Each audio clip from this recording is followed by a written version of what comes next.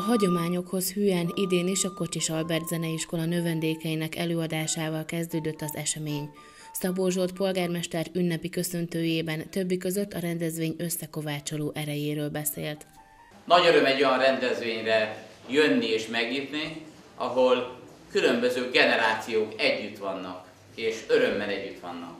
Itt a legkisebbektől, a dovisoktól, az iskolásokig, középiskolásokig, és egészen a szépkorúakig mindannyian azért jöttek, hogy megmutassák a tudásukat. A Naplemente Nyugdíjas Klub már 13 éve rendezi meg az eseményt, amely az idősek és a fiatalok körében is népszerű.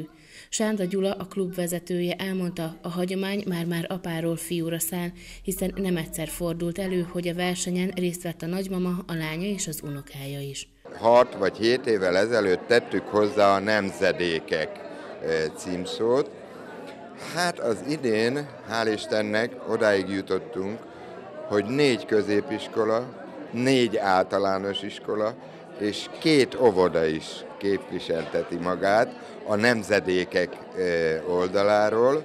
Idén három megyéből 28 nyugdíjas vett részt a rendezvényen, ők már hónapokkal az esemény előtt készülődtek, egyeztettek azonban azt mondják, nem csak a megmérettetés miatt szeretik a versenyt. Nagyon sok ismerősöm van itt, akikkel már évek óta együtt izguljuk ezeket a versmondó versenyeket végig, és még bevallom őszintén, hogy őtőlük is még nagyon sokat tanulok. Hát mindjárt imádjuk a versmondást, hát ez éltet minket már ebben az időskorban.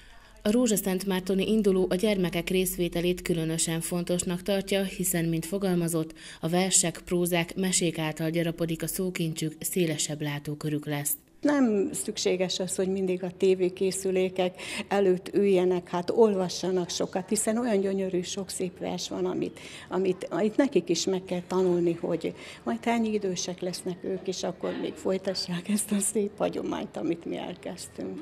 Az eredményhirdetés előtt Színyei András alpolgármester elmondta, véleménye szerint a versenyzők igen jó érzékel válogattak az alkotások között, hiszen a magyar irodalom legértékesebb darabjait hallgathatták meg. Az országos döntőt Heves megyéből nyolcan képviselik majd. A továbbjutók névsorát a 60online.hu oldalon olvashatják.